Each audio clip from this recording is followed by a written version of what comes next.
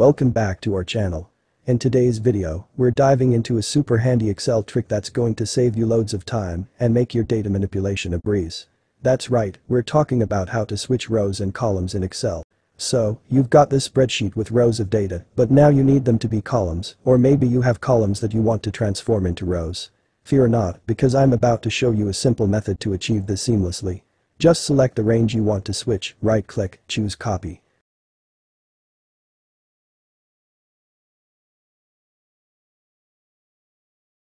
Right-click again where you want the data to go, but this time, select arrow next to the Paste Special. Select Paste Special. Tick the box near the transpose and select OK.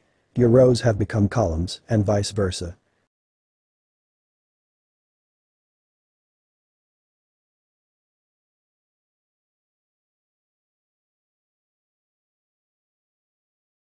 I hope you found this tutorial helpful. If you did, don't forget to give us a thumbs up, hit that subscribe button, and ring the notification bell so you never miss out on our latest tips. Until next time, happy computing.